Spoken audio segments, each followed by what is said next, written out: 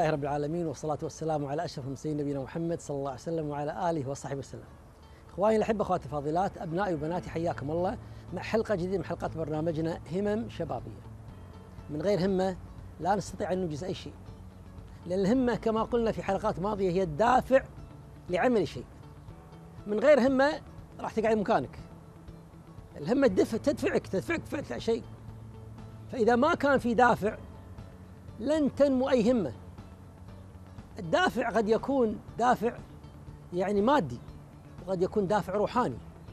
المادي إنه والله واحد يوعدك بشيء يقول لك والله إذا أنجزت لي هالشيء راح أعطيك مبلغ من المال. فهذا المال يدفعك ويزيد همتك لفعل هذا الشيء.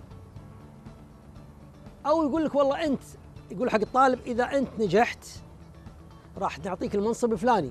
مو بس نجاح نبيك تجيب الدرجه الفلانية 90% مثلا عشان دخلك في الكلية الفلانية. فالولد أو الطالب يحرق نفسه ويبذل جهد كبير بهمة عالية عشان يوصل حق الدرجة الفلانية عشان يدخل الكلية الفلانية كليه الطب أو الهندسة أو غيرها. وقد يكون الدافع دافع روحاني إيماني. يقول لك حق المسلم والله إذا صليت تدخل الجنة.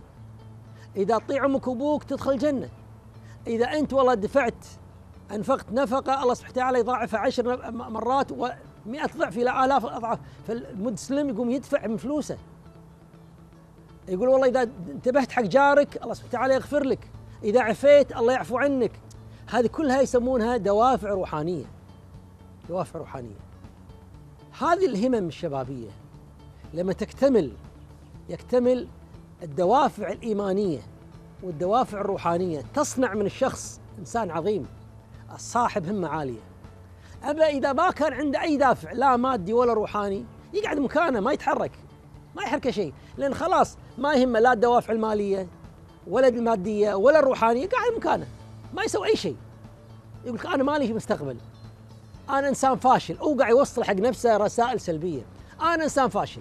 إخواني ناجحين أنا مو ناجح. هذا الإنسان ما راح ينجز أي شيء أبدا. إحنا نتكلم إخواني الأحبة عن هذه الهمة. شوف كمثال في التاريخ. أسامة بن زيد بن ثابت. أسامة صحابي صغير. ولد منه ولد زيد بن ثابت. زيد هذا اللي كان الرسول وسلم يحبه وتبناه. بعد الرسول الله سبحانه وتعالى يعني نهى عن التبني. ما كان محمد أبا أحد من رجالكم. نهى عن التبني. ولده أسامة. ولده كان يحب الرسول حب شديد. يعني كان يقعد الحسن والحسين رضي الله عنهما على يساره على على فخذ اليسار ويقعد أسامة بن زيد على يمينه ويضمهم ويلمهم. ليش كان يحب أسامة؟ لأنه كان حلو مثلا لأنه كان جسمه جميل لأنه كان يتيم لا مو هذا ليش يحبه. شاف فيه نبوغ مبكر جدا. شاف فيه يعني همة عالية. أسامة لو تقرؤون تاريخ أسامة الرسول صلى الله عليه وسلم أعطاه قيادة الجيش الإسلامي قبل ما يموت بسنة تقريبا لمعاركة لمعركة بين المسلمين والروم لأول معركة بين المسلمين والرومان على حدود الشام حدود الأردن. و ولكن الرسول صلى الله عليه وسلم مات. فجاء الصديق وقال لازم أمضي جيش الرسول صلى الله عليه وسلم. قالوا الصحابة هذا صغير ياهل 17 سنة. قال والله ما كنت يعني أخالف النبي صلى الله عليه وسلم في أمر قد أمره. الرسول صلى الله عليه وسلم أدرى ما خلاه وهو صغير إلا يعلم من هو أسامة. 17 سنة. يقود الجيش الإسلامي تحت منه؟ تحت عمر الخطاب وتحت عثمان. حتى إن لما فعلا أبو بكر يبي ودعة تخيلوا شاب صغير 17 سنة على الفرس والصديق أمير المؤمنين يترجاه يقول له أيها الأمير بس خلي عمر عشان يساعدني. فيسمح لأسامة أن يخلي عمر. أي همة هذه تجعل شاب صغير يقود جيش إسلامي كبير. على العموم خلكم معاي بعد الفاصل نكمل مع بعض.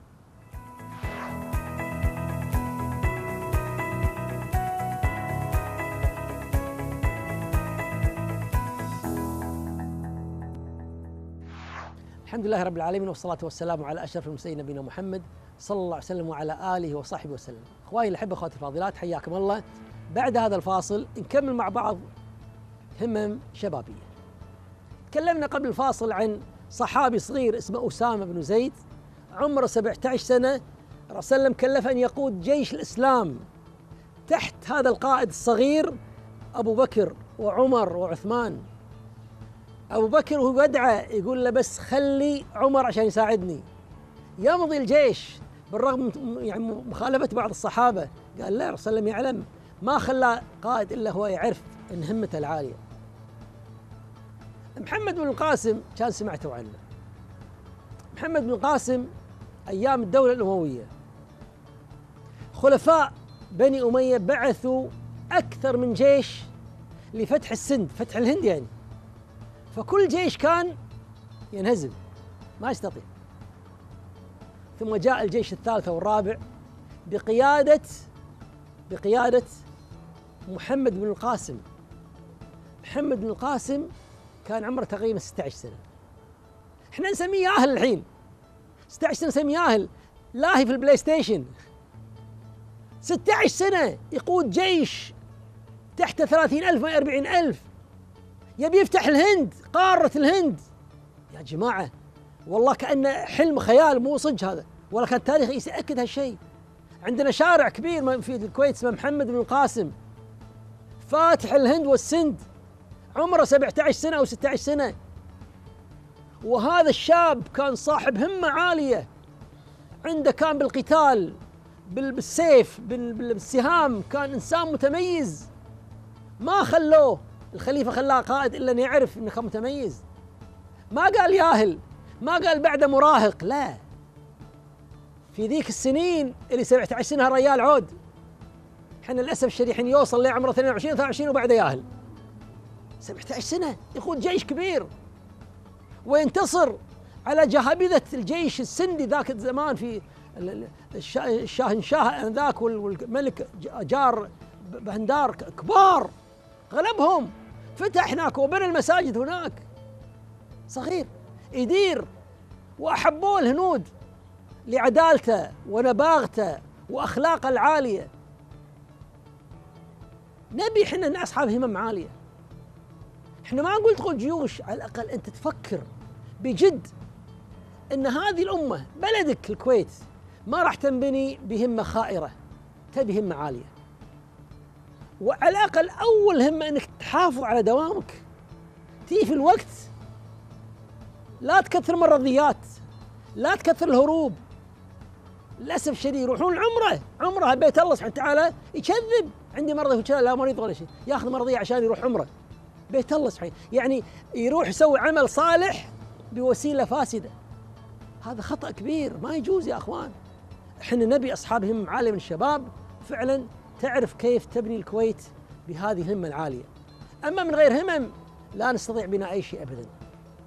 لذلك يا أخوان أيها الأخوات أبنائي وبناتي اقرأوا السيرة اقرأوا التاريخ شوفوا هؤلاء الشباب كيف بنوا أممهم وكيف بنوا بلادهم وكيف أنجزوا إنجازات العظيمة.